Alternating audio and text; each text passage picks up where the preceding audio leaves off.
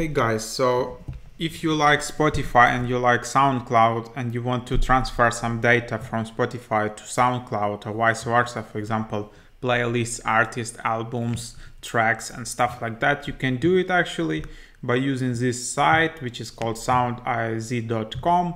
What you need to do is just sign up, then connect your services, which is Spotify and SoundCloud. You can also add Apple Music, Napster, YouTube Music, whatever and then you can just click transfer.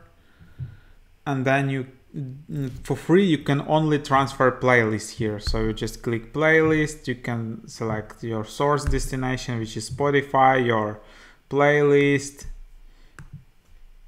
your configurations and your tracks.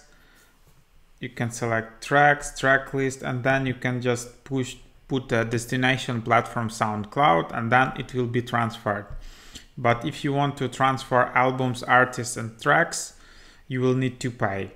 Also, if you want to transfer everything like in one batch, mm, you will also need to pay, but it's re really easy and fast.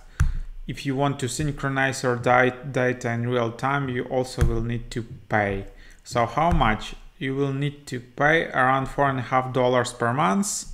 So it's not that much at all, I think, uh, for monthly billing. And that's about it. So you can basically just pay for one time and then just cancel this tool. It really makes sense if you have for example hundreds of playlists and artists and albums and tracks etc so i do really recommend this tool and just like go there and just sign up. Try it out. Thanks for watching